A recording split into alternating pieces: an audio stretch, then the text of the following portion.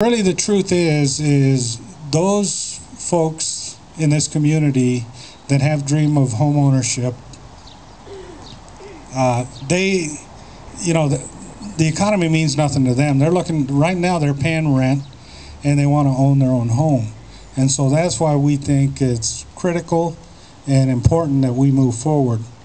We have partnered with a local company. Uh, it's MWC Construction, and you say, well, we've probably never heard of MWC Construction.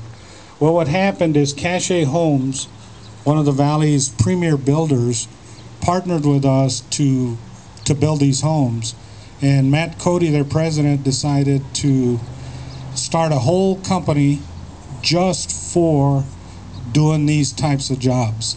And so I'd like to give them a big thank you because they're, you know, they're building, this is their entree into low income housing. You know, they're used to building million dollar homes in North Scottsdale and all over the valley, but uh, they have a heart to come in and help us with this project and some others that we're working on here in the community. So